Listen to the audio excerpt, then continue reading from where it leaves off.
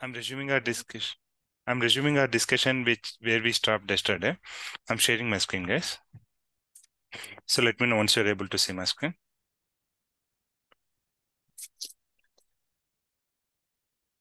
Able to see my screen? Yes, Suman. Okay, thank you. See here, guys. Yesterday we have discussed, uh, so like uh, what is the need of database. So we have taken an example of uh, Excel file where um, uh, we can save our data in this fashion, like any business data. We have taken the example of uh, sales information of a retail store. So there we have uh, uh, made seven entries of which are of different different product categories, and we were having few questions, like few analytical questions around the data. So for few of the questions, we were able to directly give answers through the Excel uh, filtering option. But for few of the questions, we are depending again uh, through manual intervention. So like uh, um, initially day-wise sales, we will be able to get information by filtering data on date basis. Like only uh, only by selecting 29th 30 like that okay? So after uh, arriving with date wise sales if you want to understand which particular date is having more sales highest sales then we are manually comparing each value like 3000 22000 450 37000 okay? So 27th is a uh, date which is having highest sales so this way we are doing a manual intervention here okay? And one more thing uh, excel is also having some limitations in terms of for storage. Let's see uh, we have discussed about one use case where one business is having a thousand sales happening uh, per day okay? Otherwise you take the example of dmart yes. So dmart people are operating through different different locations true or not? If within a single city we'll be having more than two or three uh, centers operated true or not? Within hyderabad we'll be having some five to six uh, dmart locations operated in different different areas. Like that if you are having our business operated in multiple cities let's suppose 10 cities. In 10 cities in each city i'm having four locations. Then overall my total locations are how many guys? I'm having my dmart loc, uh, dmart operated in, in i'm the owner of dmart i'm having i'm operating this in 10 cities. And in each city i'm having uh, four locations. Then total uh, how many locations i'll be having guys? 40 right? 40 dmart centers. True or not? 10 cities into four locations. 40 locations. Guys i'm audible? Yes, Suman. okay. So total 40 dmart locations. So and imagine in each DMart center, how many uh, sale counters we'll have, guys? At least minimum side. I believe everyone is aware of how DMart operates. Minimum side. Yeah, minimum side. counter. Minimum side 10, right? Yeah. Minimum side 10. Okay. 10 cities, 4 centers, total 40 centers. In each center, we'll be having 10 counters. Cities, locations. So total uh, DMart centers even and counters. Now tell me guys, overall how many counters across 40 centers will have in a single day? 400 counters operating, right? Overall my business getting operated through 400 counters. True or not guys? 40 centers into 10 counters. How much? 400. And imagine on an average in a single DMart center, how many entries are going to happen per day? How many sales? How many sales in the sense? How many people entering DMart and exiting DMart with some purchasing some goods, like even a single brush, toothpaste, or multiple goods or groceries, anything. Imagine what will be the count, guys? Average. Minimum side some thousand to fifteen hundred, right? Thousand to fifteen hundred minimum side per day, overall day. Yeah, minimum side, minimum side, some 1200 to 1500, true or not? Yes. Okay, I'll take average 1200. so, per single day, 48,000 sales transactions will happen. This is average sales per counter. So, overall sales counter, what will be the overall? Uh, it is like 4 lakhs 80,000, I think. Yes, 48, 4 lakhs 80,000 sales transactions happening per day. Getting my point, guys? Guys, understanding my point? Yes, Suman. Yes, Suman. Per day, 4 lakh 80,000 4 lakh 80,000 sales transaction within a day happening. What is the sample we have taken here? What is the sample? How many sales transactions we have taken here? Seven. Only seven rows we have taken. But overall, in a in a DMart business, in DMart business, per day, this is like rough numbers, yes. It can be more or less, but on an average per day, five lakh transaction will be there across all DMart locations across the country. So now four lakh eighty thousand is a sales transaction per day. Sales transaction in the sense, what is a sales transaction? What it involves, guys? A sale transaction involves what? It involves a product, quantity, and what is the price you're purchasing at. True or not, guys? Yes. Okay. So remember, imagine if they if you are going to maintain for four lakhs eighty thousand records sale information per day in an Excel file, what will be the uh, count of uh, sale transaction per month? Per month?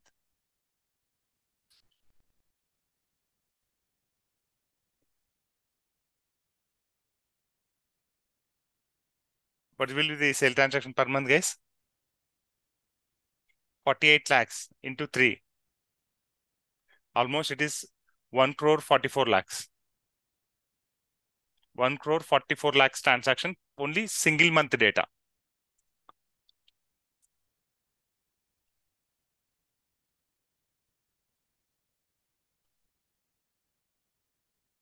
Oh, sorry, 1 crore 44 lakhs. Again, if you go with an year, then it will be like by 10. I mean, into 10, you can say like 14 crore sale records, 14 crore sale records. 14 crores. And if DMart business is going to close next year? No, it will be a continuous business, right? It will remains like next 25, 30 years. And imagine, are we able to maintain such huge data in an Excel file, guys? It's impossible because Excel is also having some limitation in terms of maintaining data. See, so what is the maximum row number it is showing guys? I did control down arrow. I have hit control down arrow on my keyboard. It has taken me to the last row of my Excel sheet. Tell me the guys, what is the count here? 1 lakh, 10 lakh, 10 lakhs, 10 48,000, 576. 576. So 10 lakhs 48,576 in the sense, in one sheet, I'll be able to maintain only two days related sale transaction because one day related sale transaction is 4 lakhs 80,000 in my DMart business. And your file size will be in GBs and you will be unable to open that Excel file on your machine itself. And how can you do analysis? Getting my point? Is getting my point? Yes, Suman. Excel helps us up to some extent, only up to some extent, like uh, only uh, some uh, 20 to 30 transactions happening per day. Like that, such business can maintain their data in Excel file.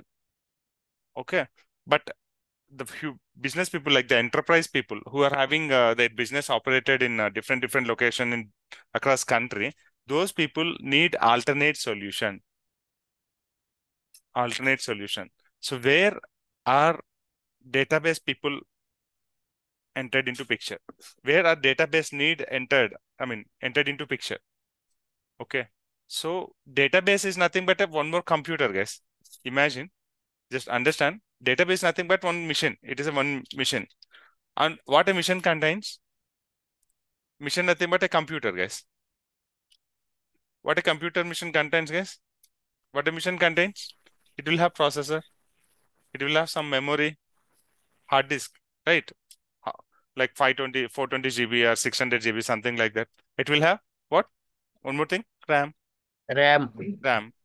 So these are uh, primary qualities of a computer a server a database nothing but it resides inside a computer where it uses memory of that machine and database comes with comes as a software where we install that particular database software on that computer and we will allocate some memory to that uh, database. And inside the database, we'll create tables and we will save our data into those tables. Clear so far, everyone? So, Okay, so we'll save our data into those tables. Once data is available in those tables, we will be able to analyze that data using SQL language, structured query language.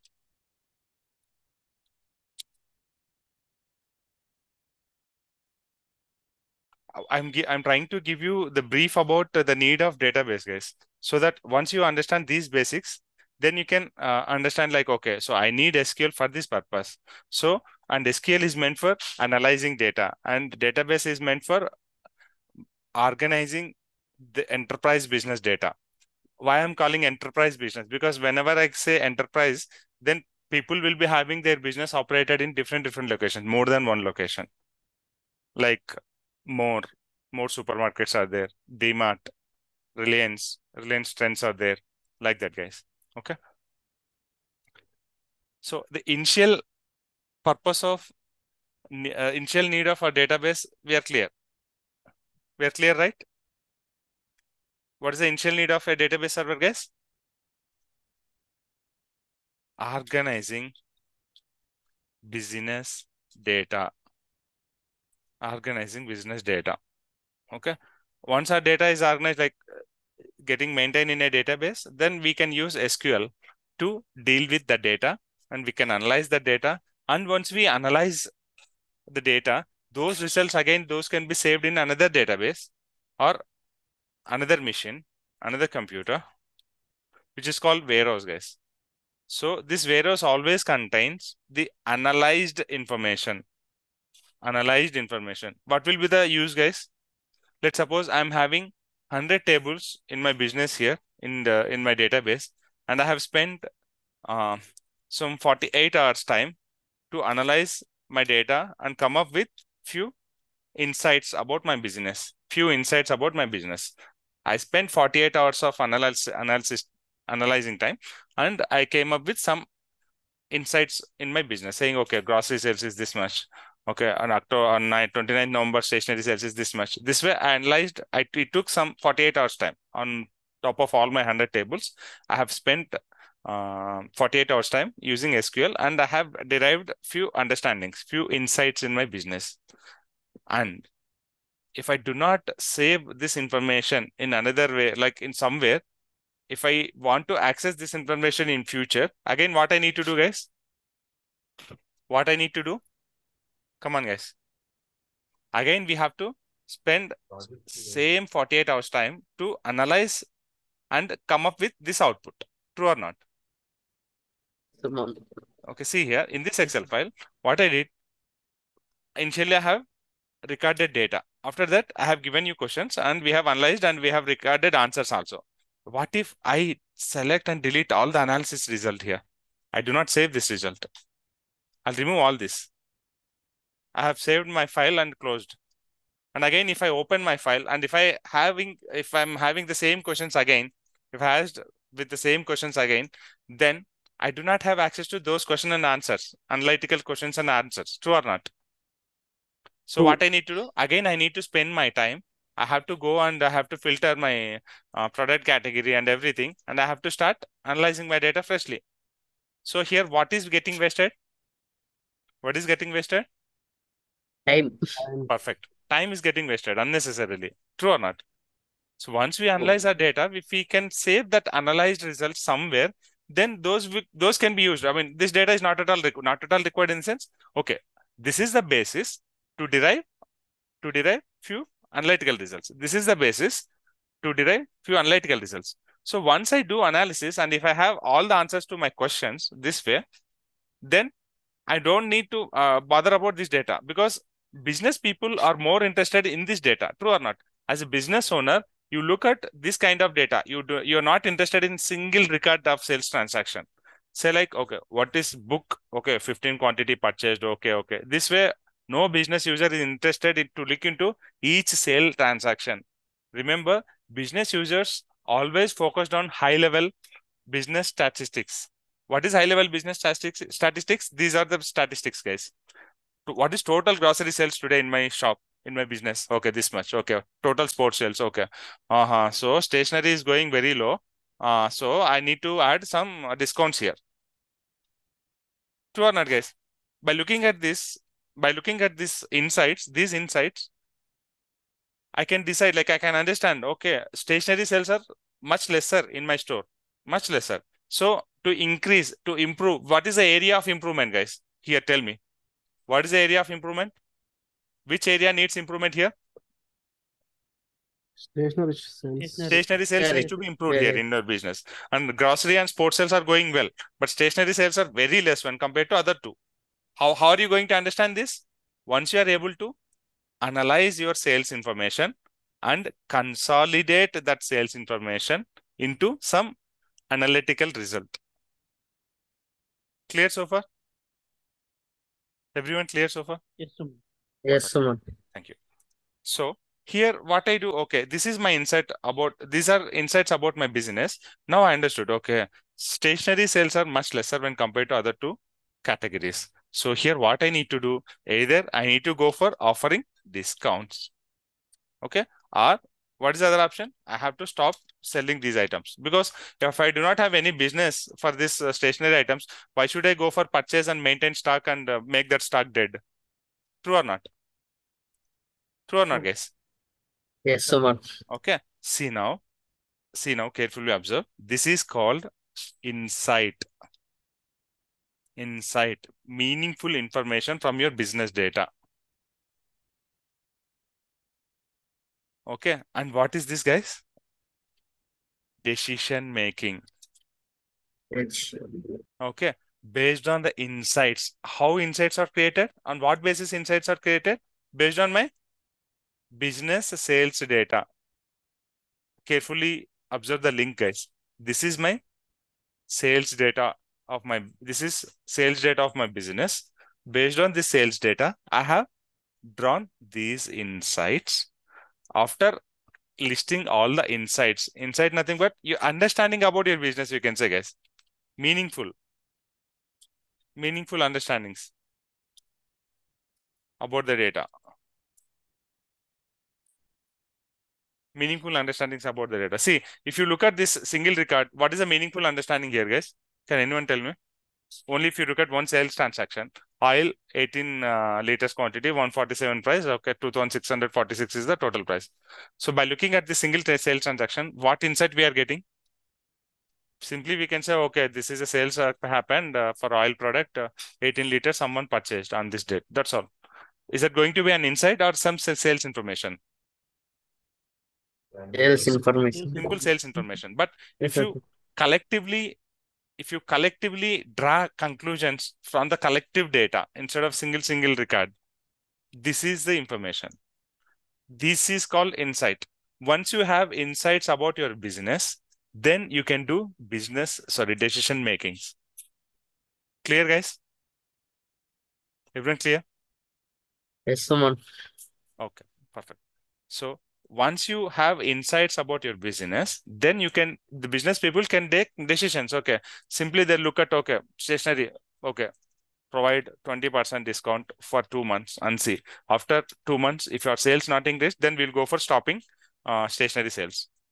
Apply 20% business. This is, this is decision making. And this is insight. How the insight is created how the insight is created based on the analysis of your business data. Why I'm stressing this point more and more, guys. Once you understand this relation, once you understand uh, this hierarchy, you are very much clear. You're going to learn only technical aspects from now onwards. But this is a functional aspect where you have to more clear about. Here, the kind of business we are dealing is a retail store one. But the same is the case with any business because business people are doing business for profits. And they want to track their profits with meaningful insights this way. One they and to get insights you have to do some analysis on the data. And to do that analysis you need some medium in between.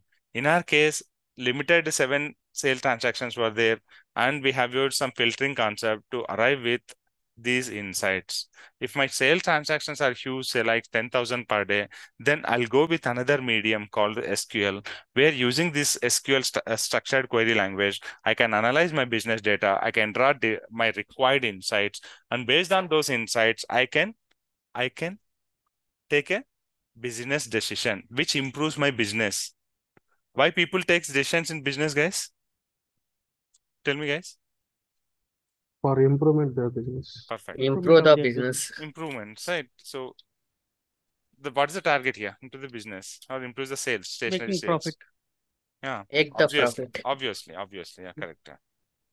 See, here they have taken a decision making here. Apply 20% discount on stationery sales. What is the target? Improve stationery sales to 10,000.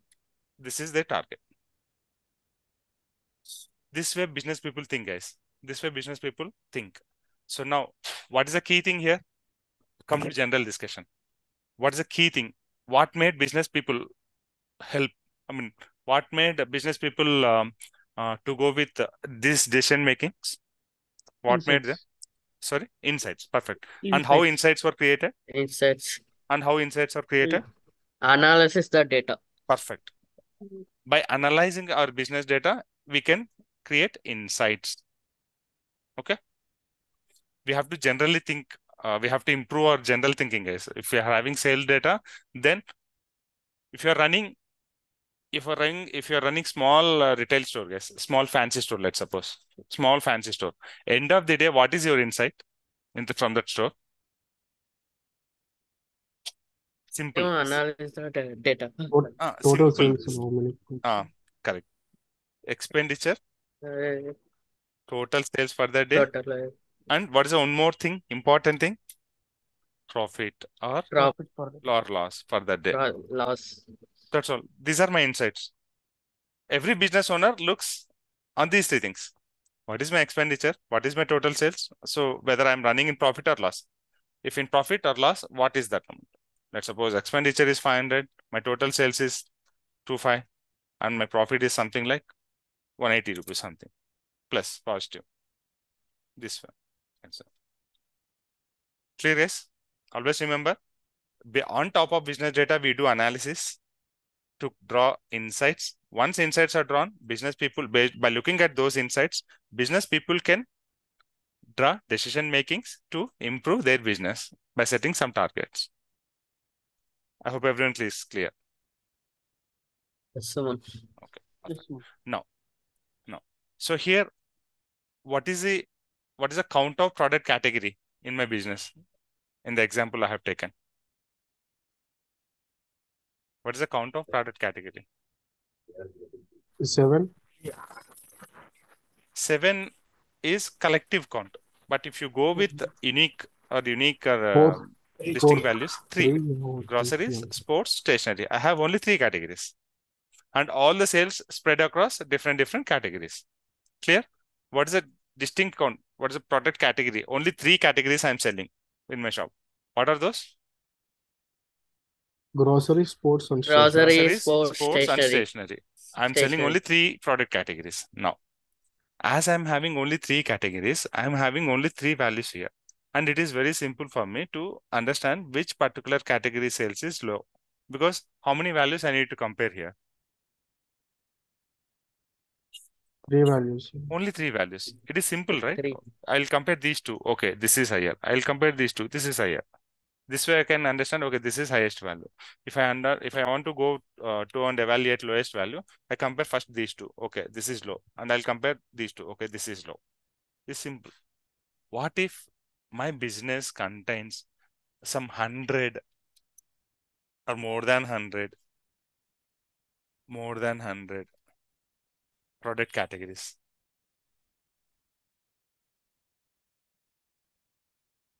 and answer my question here deriving which particular deriving which particular sales is lesser or higher am i given with directly with a decision or am i manually intervening and understanding that information i'm doing that Manually. manually Manually understanding the data. yeah what if if my product category count is greater than 100 or 100 In that case, how many category, how many values I need to compare? Understanding my point? All. Three values we have to. No, three, not three. See here, if product category is grocery, sports, and stationery, only three. But what if my product category count is 100? Product category in the sense, uh, stationery, grocery, sports, um, kids wear, men's wear, women's wear, something like that. If I'm having 100 categories in my business, All hundred categories we should. check. R hundred. uh, 100 categories I have to visit Okay. or not. 100 categories I have to visit. Yes, So, to avoid that issue, so that is very uh, tedious manual job, right? Very tedious manual job. True or not? Yes, yes. So to avoid that issue, what we are doing, we are using business people. Like once we give insights, these insights are meant for business people. So these insights are meant for uh, business people. Okay. So once these insights are created and saved in a warehouse table, we use reporting tools. What those reporting tools will do, see here, these three sales, I'm selecting these three sales and I'm going here. Uh, one second. I'm going here. Uh, I'm in. So yes, I'm selecting these three cells information. I'm creating a graph.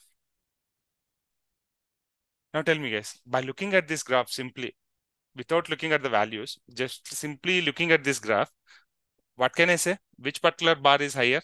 Highest, I mean, uh, taller? Grocery sales. Grocery sales is Grocery, taller. grocery sale. Just by looking at this graph, I can simply say, okay, this tallest bar is the highest sales one.